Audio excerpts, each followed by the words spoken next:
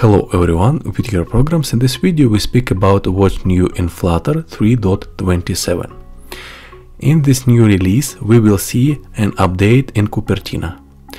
Cupertino updates. This release include height uh, fidelity, update to Cupertino checkbox and Cupertino Radio, featuring updates to size, colors, stock widths and behaviors when pressed. There have also been large customizability updates to Cupertino Radio, Cupertino checkbox and Cupertino switch, adding properties like mouses, cursor semantic labels, thumb images and fill colors. Cupertino sliding segmented control sees some fidelity updates to its thumb radius, separator height, padding, shadows, and thumb scale alignment. It also now supports disabling individual segments and proportional layout based on segment content. Both Cupertino navigation bars and Cupertino sliver navigation bars backgrounds are now transparent until content is scrolled under them. You can now apply the iOS 15 Plus button stylus using the new Cupertino button size. You know with the new size style property in Cupertino button. Use the new Cupertino button tinted constructor to make buttons with a, a transparent background. Cupertino Picker and Cupertino Date Picker will now scroll to tabbed items. Cupertino Alert dialog now supports the tab slide gesture. Cupertino Action Sheet sees some high fidelity updates including adjusting padding and font size across all system text size setting and supporting haptic feedback when seeding over buttons. Normalizing material theming. In this release, card them, dialog them and tab bar them have been refactored to make them conform to Flutters. Conventions for component themes. Them data, dialog them data and tab bar them data were added to define overrides for the defaults of the component visual properties. Future releases will continue to normalize component themes like this for a more consistent theming experience in the material library. More features for carousel view. This release introduces carousel view weight, enabling more dynamic layouts within carousels. More and material. This release includes a number of small feature enhancements and bug fixes. Some enhancement examples. Segmented button now has a direction property, so items can be aligned vertically. More icon related properties are added to the style from method for button style button classes. Elevated button, filled button, outlined button, text button, menu item button and submenu button to allow more customization. Mixing route transitions. Model routes are now more flexible when the previews and the new routes have different page transitions. When a new route enters the screen, sometimes they need the previews existing route to play. A certain transition to sync up with the entrance transition of the new route. Text selection improvements. Flutter selection area now supports Shift plus click, gesture to more the extent of the selection on the clicked position on Linux, macOS and Windows. Row and column spacing.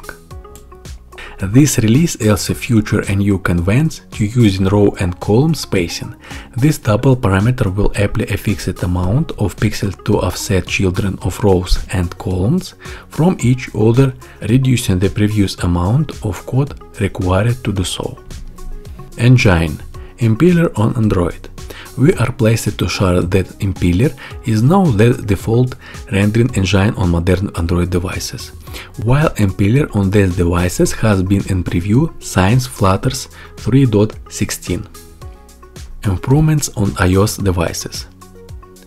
In previous version of Flutter, users may have experienced an issue in which application on iOS devices watched several milliseconds per frame on compositor backpressure. This backpressure would be observed as delays in the beginning of the raster workload. In many circumstances, this delay caused missed frames and jank.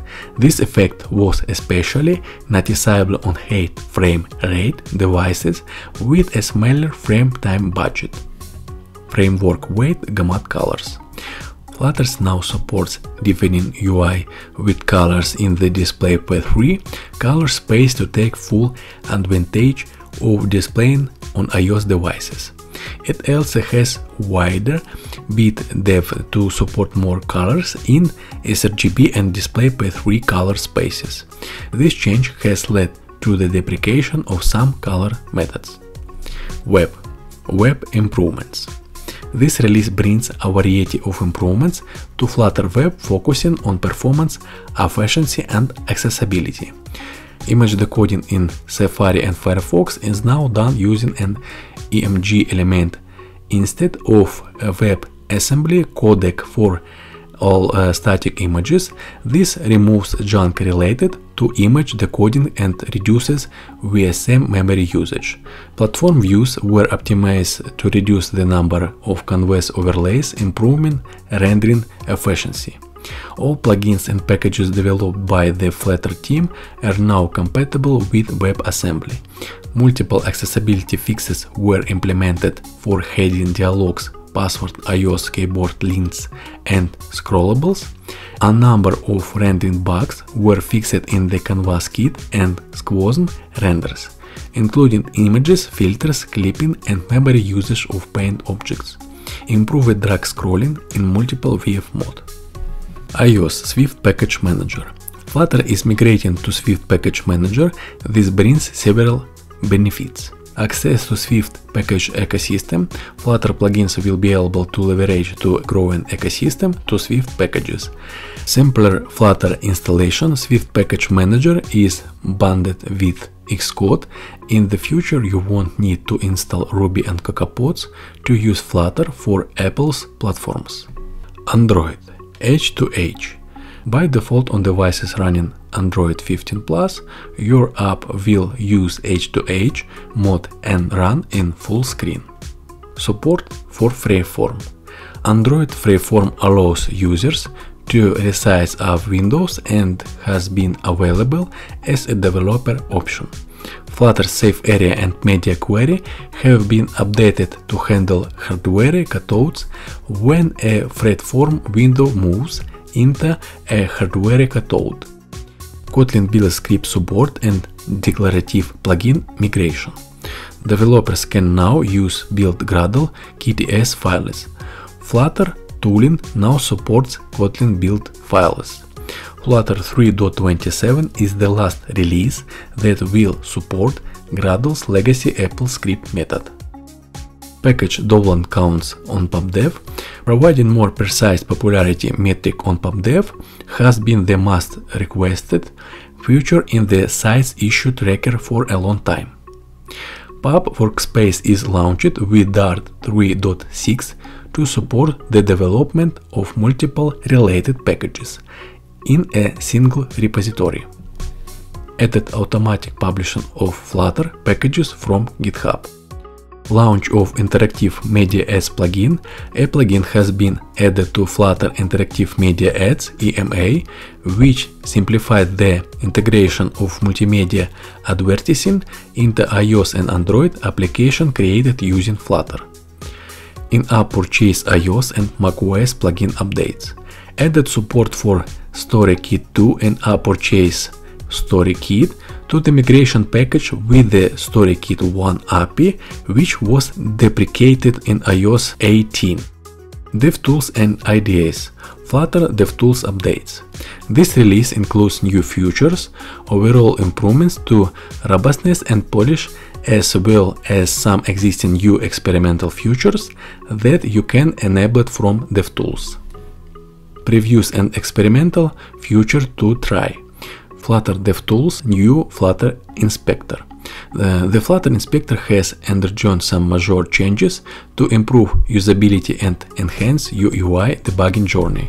Flutter DevTools try with WebAssembly, enable the WebAssembly feature in DevTools settings to load the USM compiled DevTools web app. This should yield better performance than the default JS compiled version of DevTools. These features is experimental. Breaking changes and deprecations. Material Design 3 tokens. The latest Material Design 3 tokens v6.1 have been applied to the Flutter material library. The material design tokens updated the mapping of full color rules in light mode only to be more visually appealing while retaining accessibility contrast. On primary container, on secondary container, on tertiary container, on error container. Objective-C iOS projects. Science Flutter 1.9.1 released in 2000 19. New iOS project use Swift by default. Creating a new Objective-C iOS project is now deprecated, and the Flutter created iOS language Objective-C flag will be removed in a future version of Flutter. You will still be able to open UXCode project and add Objective-C files included for plugin. Java continues to be supported for Android apps with the Flutter Create Android Language Java flag. Deep link default flag. The default value for Flutter's deep linking flag has changed from false to true, meaning deep linking is now open by default. If you're using Flutter's default deep linking setup, there's no need to manually set the flags to true anymore. However, if you're using third-party plugin for deep links such as Firebase Dynamic Links, AnyLink, UpLinks, this update will introduce a breaking change. In this case, you'll need to manually reset the Flutter deep linking flag to false. Support for older SDKs in the IDE has been discontinued. Starting with the release of Dart 3.6, support for Dart SDK versions older than 3.0, released in May 2023, is discontinued. This all in this video, subscribe my channel, add likes and see you the next lesson. Bye.